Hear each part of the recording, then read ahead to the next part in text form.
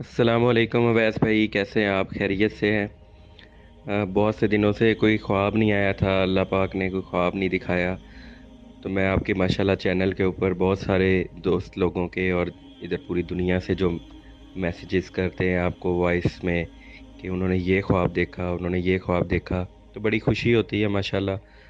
और जो लोग इन ख्वाबों का मज़ाक उड़ा रहे हैं या जो ताने कसते हैं, उनको इस बात पर गौर व फ़िक्र करनी चाहिए कि मैं एक बंदे की रिक्वेस्ट कर सकता हूँ, मैं दो की कर सकता हूँ, मैं पूरी दुनिया से सबके पाँव मिन्नत नहीं, समाजत नहीं कर सकता, पाँव नहीं पकड़ सकता कि भाई मेरे लिए कोई वीडियो बना दो, मेरे लिए कोई वॉइस टेक्स्ट कर दो और ना ही कितने, किसी के पास इतना टाइम है कि वो आपके लिए, आपकी प्रमोशन के लिए ये सब कुछ करे। लोगों को गौर करनी चाहिए इस बारे में कि अगर कोई ख्वाब लोग शेयर कर रहे हैं और पॉजिटिविटी में है तो उसको तहकीक और रिसर्च तो करे ना कम अज़ कम कि आखिर कोई ना कोई वजह तो होगी कि एक शख्स जौन सा है वो यानी कि डिक्लेयर कर रहा है, मोहम्मद कासिम बिन अब्दुल करीम को तारुफ़ करवा रहा है और लोगों को इस बारे में बिल्कुल भी फ़िक्र और परवाह नहीं है। मैं दुआ करता हूँ, अल्लाह ताला उन तमाम लोगों को जो ताने कसते हैं, अल्लाह उनको गैबी तौर पर कोई ऐसा मुआजा दिखा दे कि जो अभी तक उन्होंने नहीं देखा। क्योंकि ये वो बातें वही कर सकता है इतने अथेंटिसिटी से जिसने कुछ ना कुछ देखा हो, जिसको अल्लाह ने कोई रहम करम करके उसको नवाजिश की हो। बाकी हम सिर्फ़ अल्लाह की ही इबादत करते हैं और अल्लाह के नबी सल्लल्लाहु अलैहि वसल्लम को ख़ातमुन्नबीयीन मानते हैं। ये जो फतवे देते हैं ना कि ये लोग कादियानी हैं, ये फितना फैला रहे हैं तो सच्चे ख्वाबों की हकीकत पहले कुरान और अहादीस से तो पढ़ लें। मैं सबके लिए दुआ गो हूँ और अपने लिए भी दुआ गो हूँ कि अल्लाह ताला हमें भी फितनों से महफूज रखे। अवैस भाई, मैंने ख्वाब दे देखा कि मैं एक न्यू तमीर शुदा घर है और टोटली कंप्लीट हुआ हुआ है और बाहर से वो लॉकड है। मैं उस घर में अपने आप को पाता हूँ और मैं देखता हूँ कि घर में ना सिर्फ़ सफ़ाई होने वाली है।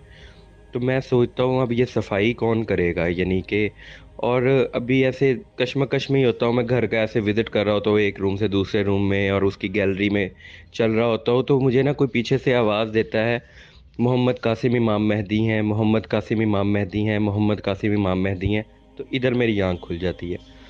मैंने ये ख्वाब आपको इसलिए शेयर किया कि आजकल ना ये ख्वाब का मतन कुछ इस तरह से है कि आपके मैंने बहुत से वीडियोस देखे हैं, कुछ लोगों के ड्रीम्स जो बाकी out of country out of city से आ रहे हैं, आपको सेंड कर रहे हैं और आप वीडियोस अपलोड कर रहे हैं, वो भी सफाइयों से रिलेटेड हैं।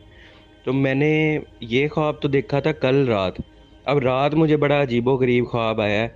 अगर मैं, यानी कि बुरा ना माने, मैं शेयर भी करना चाहता हूँ, लेकिन ना इतना का माहौल हमारे यहाँ पे गंद मच चुका है, यानी कि दुनियादारी में इतने के लोग खुब चुके हैं कि उनको परवाह ही नहीं है अल्लाह और अल्लाह के रसूल सल्लल्लाहु अल्लाह और अल्लाह के रसूल सल्लल्लाहु अलैहि वसल्लम के दीन और इस्लाम की कोई फ़िक्र और परवाह ही नहीं है कि यानी कि दुनियादार हो चुके हैं लोग। आप सल्लल्लाहु अलैहि वसल्लम की हदीस है कि मेरे बाद मुझे इस बात की फ़िक्र नहीं है कि तुम शिरक में मुबतला हो जाओगे। मेरे बाद तुम लोग दुनियादार हो जाओगे और हम आज दुनिया की ही दौड़ है। लोग सब बयान कर रहे हैं अपने ख्वाब तो मैं भी आपको ये ख्वाब बयान करूँ। अल्लाह ताला कमी पेशी माफ़ फरमाए।